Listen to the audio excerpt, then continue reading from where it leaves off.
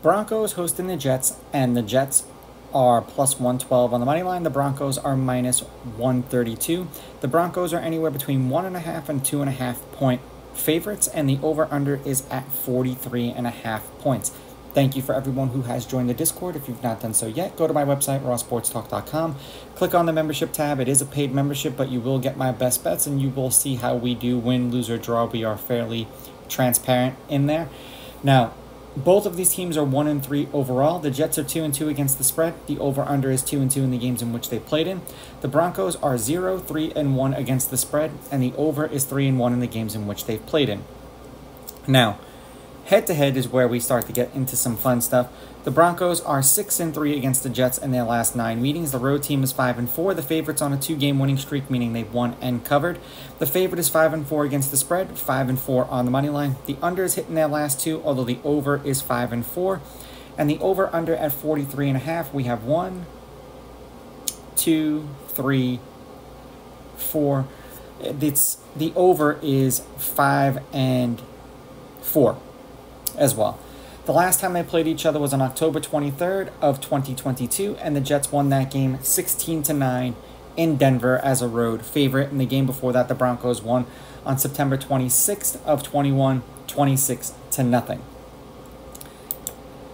The Jets are 1 and 9 in their last 10, 3 and 7 against the spread, and the under is 7 and 3 in their last 10 games.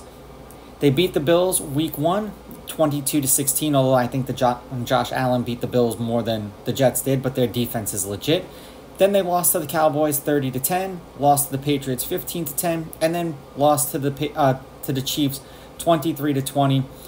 And there was a lot that the the Jets did good in that game. That Zach Wilson actually looked serviceable. And for the Broncos, they're three and seven in the last 10, four, five, and one against the spread and the over is 8 and 2 in their last 10.